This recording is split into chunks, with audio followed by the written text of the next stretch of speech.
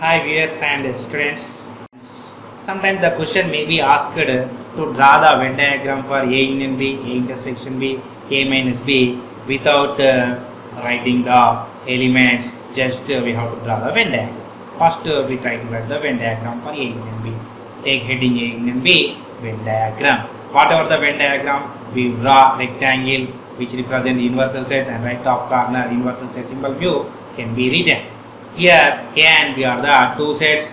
They may be common elements, may not be common elements, we don't know. So generally we write uh, the two circles overlapping with one another. The left side circle is the set A, right side circle is the set B. A union B is the elements of uh, set A and set B. All the elements of set A and set B can be taken as the elements of A union B. So we shade the total region which uh, shown on the screen. The shaded region in the screen is the A union B area. The elements in this shaded region are the elements belongs to A union B. All the elements of A and B. All the elements of A and B are the elements of A union B. So total A and B sets are shaded here. So we write A union B is equal to the shaded square may be written as shown on the screen. A union B is equal to shaded square. That means the shaded region in the above Venn diagram is the A union B parts. Whatever the elements in that shaded region are the elements of A union B. This is the representation of A union B by Venn diagram. Now let us represent A intersection B by Venn diagram. A intersection B Venn diagram. See children, as usual we draw rectangle and right top corner universal set. The two overlapping circles which represent set A and set B can be drawn as shown on the screen. A intersection B is a set consists the common elements belongs to set A and set B. A intersection B takes the only common elements to set A and set B. So we shade the common part to set A and set B. The shaded common part is the intersection B. Whatever the whatever the elements in this shaded region are the elements of A intersection B. In the down to the Venn diagram, we write A intersection B with the shaded square. The elements in the shaded area belongs to A intersection B.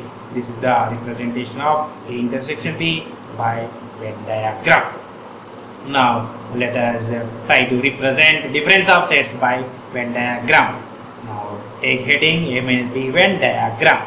As usual, we write a rectangle which represent a universal set and right top corner we write the symbol of universal set mu and two overlapping sets uh, which represent uh, set A and set B by circles uh, A and B as shown on the screen. Left side circle is the set A, right side circle is the set B. Here A minus B, A minus B is a set consists of the elements belongs to only set A does not belong to set B.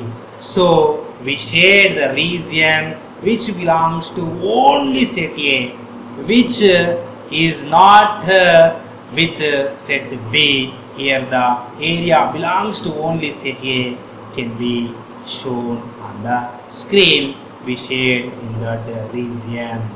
The elements which in that shaded region are the elements of A minus B. So we write in the down of the Venn diagram A minus B is equal shaded square box.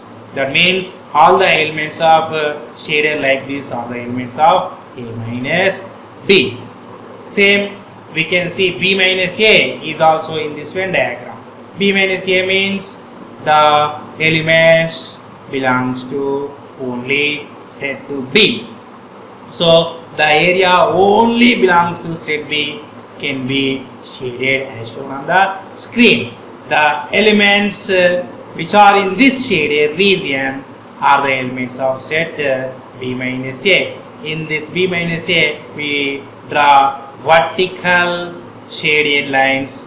In A minus B, we draw horizontal shaded line. So B minus A is equal to a square with vertical shaded lines. That means the elements which are in this vertical shaded lines are the elements of B minus A. This is the representation of Venn diagrams of union, intersection and difference of sets.